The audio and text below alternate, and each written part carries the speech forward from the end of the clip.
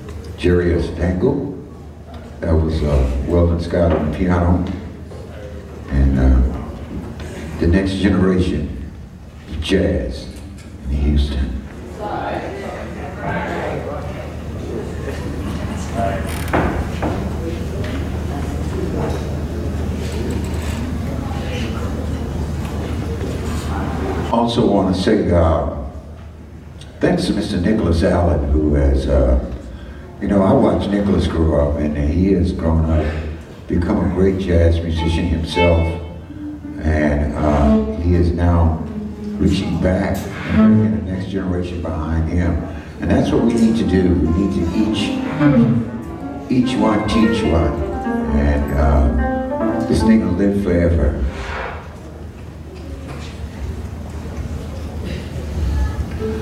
Also, literally un, little unknown, Mr. Nicholas Allen is also a, a tuba player. And if you have never heard Ahead Jazz on the tuba, check him out on YouTube. Uh, he's got an awesome uh, piece that he did. Uh, we were fortunate enough to get recorded.